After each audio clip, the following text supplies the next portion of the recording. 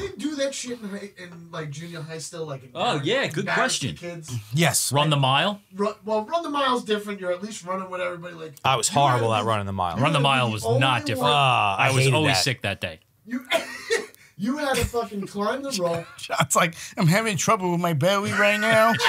I don't think I'm gonna be able to do the pull-ups They, today. yeah, probably, jeans. they, they probably don't do that shit the same way anymore. No, right? No way they You do that. do you had to do pull ups. You had to climb the rope, Yep. and you had to do two other things. I remember how was physical. the rope, demoralizing the rope was mile tough. was. If you think about it now, I, I mean, I was able to do it as a kid, but That's like just as an hard adult, to do as an adult. climbing that fucking rope, Yeah, where's the nuts? I went to a the place- there's no nuts on this one. It's like yeah, just swivel it around, and you have no training in it whatsoever. It's just I went climb to a that place bitch. that had that, and they had like that American Ninja Warrior setup, and I tried to it, like no chance. Like you know, I, I I'm don't- even fucking like What was that? I don't know if I called? could do the rope. no. You literally walk into gym class one day, like thinking you're gonna play like fucking Yeah, kickball. Yeah. Oh. Kickball. my god, bro. And then I got go climb the rope. Bro, I am fucking. No, no, no, no, no, no. I'm fucking freaking out right now, even thinking about those days.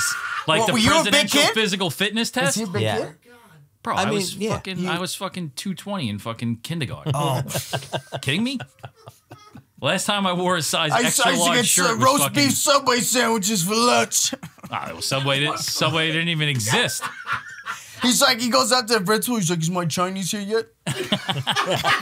Bro, I was amazing. fucking. I I, got- was fucking DoorDashing. I got, uh, I got sesame chicken, pork fried rice, two extra egg rolls. You want the egg roll? Yeah, I got you. It's like I bought two, one for you, one for your secretary, but I need the rest.